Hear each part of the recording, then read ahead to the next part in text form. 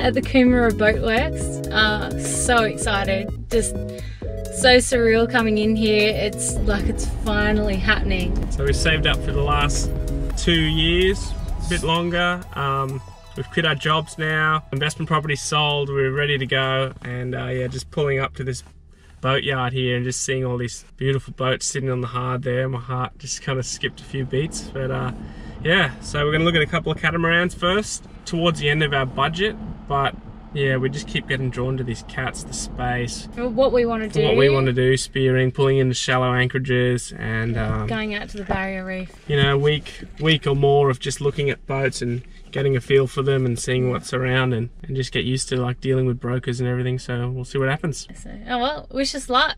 Update you soon. See ya.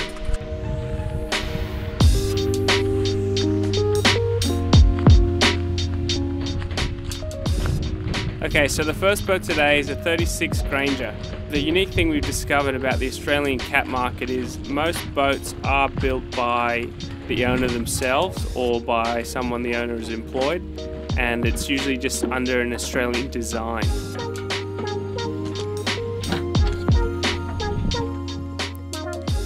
We weren't huge fans of low headroom and decided that this would be one of our main comfort requirements going forward.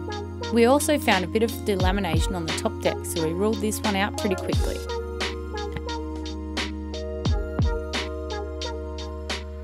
We then checked out a newer Grainger, which was out of our budget, but we just really wanted a reference point to see what more money would get you, really. Don't know if we want to go on this one or not. it's only 33, 34 foot. Yeah, 34 it is. Yeah. Nice boat, huh?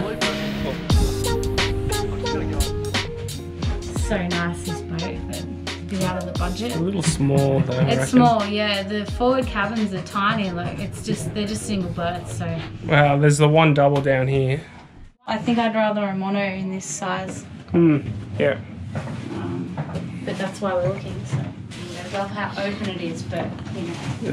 Yeah, you can see the difference. This is 2005. Yeah. So that's what 10 years. I love this. This, is, this is what gets me on the cats every time. There's just so much outdoor space, and the, and then you've got the tramps on the front as well.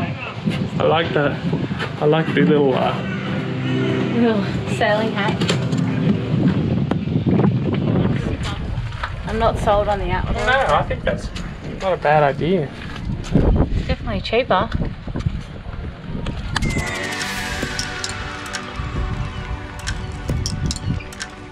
Fuck, massive.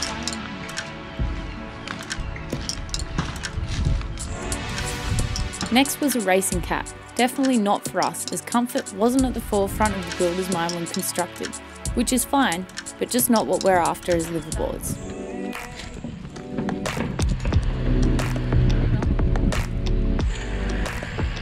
What do you think, Michael? it's definitely big enough, but doesn't have the right feeling. A little bit too much dark, work to do. A little bit dark. You can see mold, mold build. No, it's too. The headroom's crazy low. I mean, here's fine. Yeah, Where you are, it's no good. So look. On a 43 foot boat. you can stand in the middle there, no worries. No. Yeah. There you can. That's the engine. Hmm. And there's just lots of work to do. All the hatches have been fully, they're just full glass hatches, so there's no light. We learned a lot in that first day, but we didn't see anything we really loved, and we still had a long list to get through. The next day, we probably didn't do ourselves any favours as we looked at a boat that was way above our budget. Uh, it was a turnkey setup, it was a Lightwave 35, and it had everything we needed. As we motored out on the tender, we absolutely fell in love with it. Alright, what do we got here, Michael? What's this one? It's a Lightwave 35. Lightwave 35, beautiful. Jesus, beautiful. Big bed too. It's not too high, like a bit more headroom. Yeah. Full head height. Shower. Get in. Spear guns. No one. Yeah, it's now right. Wow. That's 35. Get out of the budget. We did it. Just a little bit cheaper. But you know, ready to go. Mm. And they, they probably pushed the boat a little bit too much and you know, Unfortunately, it was a bit over our budget, and while we had the money to buy it, we wouldn't have had much left over for cruising and would have put us back to work pretty much straight away. We made an offer with what we could afford, but it was knocked back. No surprises there, but it was worth a try. We decided we had to walk away, and now, unfortunately, compared everything to this beautiful boat. The next few days were a blur, looking at a couple more monohulls, more catamarans, and hearing more information than we'd ever remember. We saw some shocking boats with dodgy repair jobs and met some really good brokers and some not so good ones. Yeah, so far we looked at cats. Um, yeah, we're going to look at a lot of monos as well. Just, just get a good feel and make a decision at the end, you know. We ended up doing 6,000 Ks in the car and drove all the way up to Townsville basically from Sydney.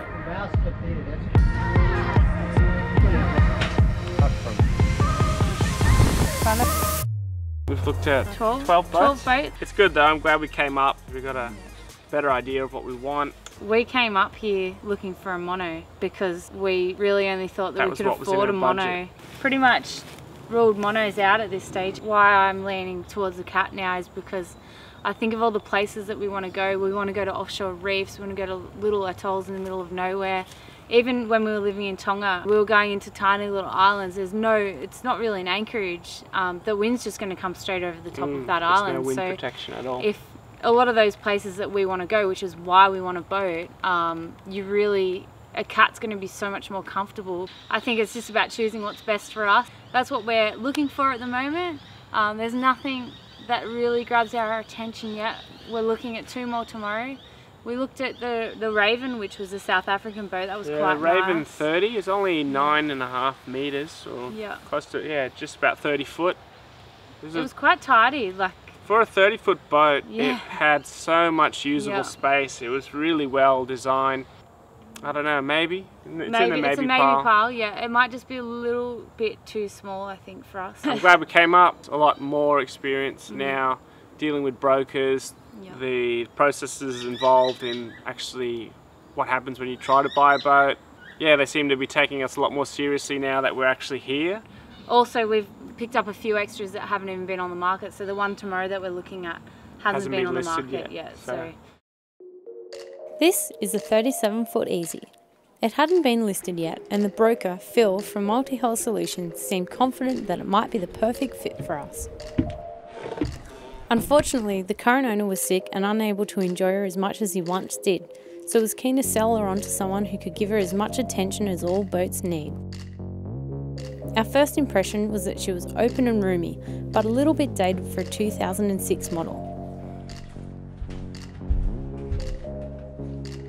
As soon as I stepped on board, I fell in love, but Michael wasn't sold. She was big and spacey, and you could see the ocean from every inch inside. Straight away, I could see the potential with a bit of a facelift. Michael was on the fence, still comparing everything to the Lightwave that we'd looked at earlier in the week. He was also wondering if there was enough storage for all our toys on board. definitely not ready to go. Need new rigging. It's not really set up for blue water. New rigging. The front's nice though. It's a big boat. Yeah. Very Like, beamy. it's very beamy. Yeah. The next boat was a Simpson, which was immaculate and built to survey, but was lacking the big roomy feel that the Easy had. It also had a higher price tag with diesel engines. I don't know what it was about this boat, but it just didn't seem to do it for us. It could be 400 mils. Sorry? Does it have a flushing toilet and shower Uh, yes. on the other side? The rooms were a lot smaller and darker, but the storage was huge and the wiring was immaculate. Look at I that. look at a, a. We had a lot to think about. These two boats really stood out from the bunch. Um, we've spent the last week looking at yachts to buy. Uh, we found a lot of good ones, but uh, yeah, it's it's a lot to take in. We're uh, we're gonna Over it. yeah we're, we're just gonna have a little break. We need to go spearing, you know, clear the head. We just gave Tim a ring. We're heading over to his place now to pick up the boat. We're gonna tow it up the coast. We're gonna go dive the Barrier Reef, which will be awesome. Haven't been there for a while. Uh, hopefully get some nice trout, some jacks, all this tasty reef fish that we don't get in Sydney. And then after that, we're gonna head up to Airlie Beach to look at another yacht. Late start. Probably get in at midnight, sleep at the boat ramp, launch at 3 a.m., drive out. Something like that. Gonna be wrecked. Eh, it's always fun.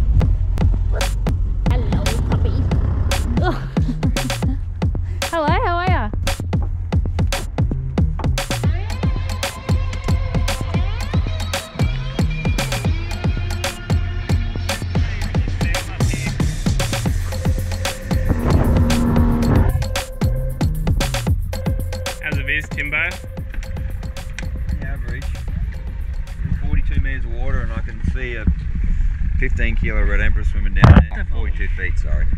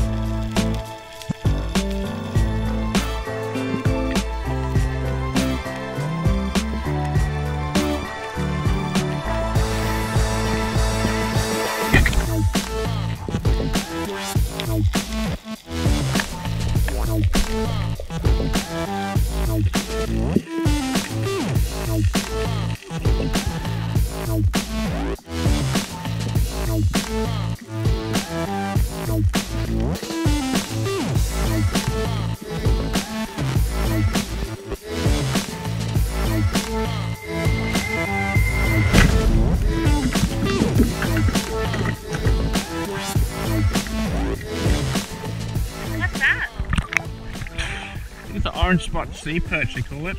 I just found this wicked bommy, wicked bommy full of red bait. I thought it was a saddle tail, uh, paddle tail. I thought, well, they got sig, you don't shoot those. And then I saw him, I was like, oh, it's orange spot. Nice one. Epic. Don't lose that bommy, it's going off.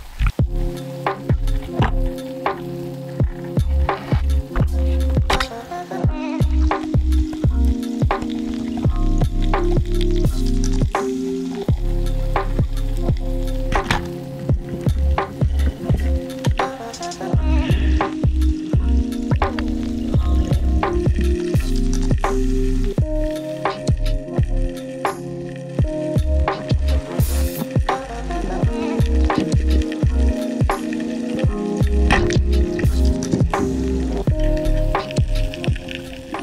so nice to push the reset button by getting out for a dive and reminding ourselves why we were about to part with our life savings.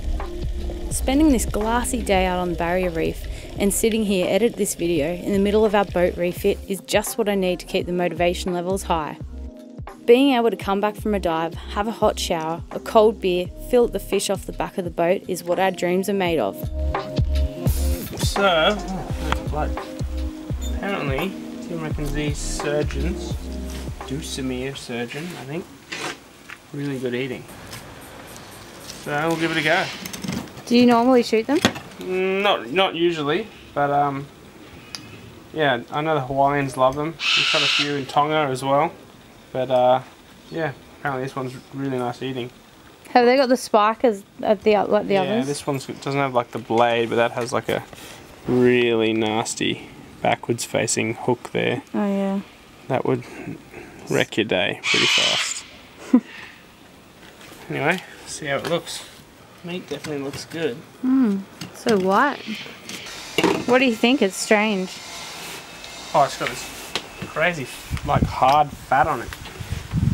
Boy, why it tastes so good. Give us a. Sh- oh yeah, all that white lines. Oh, that's the stomach sinew. lining, but Yeah, but oh, look at this fat. yeah, even that here. That's what I was talking Mm, about. look at that. Let's just peel the skin off it. It's like those healthy kingfish that you get. Well, that's what the Hawaiians do, don't they? Just chuck the whole fish on and then peel the skin off. Interesting. Yeah, so I've just salted and sugared it. And uh, what that does is take all the moisture out of it. If that is the most disgusting haircut I have ever had, Jesse, Jesse had warned me, and I didn't listen. I'm sorry you have to look at this. Salt takes the moisture out. The sugar like counteracts the salt. You look under there. That's been about 10 minutes. It's all the liquid coming out of the fish so it kind of intensifies the flavor and um, takes that wateriness, especially when you have fish that's really fresh. That's a big problem. And yeah, just rinse it off quickly before you cook it. How good does that meat look too? See all the fat layers in there. It looks really good. Looks amazing. The marbling. It's like wagyu. So there's the fish, salted and sugared. See all the moisture that's come out of it there. So you're just washing off the salt and Just sugar. wash all that salt and sugar off there. So much firmer already.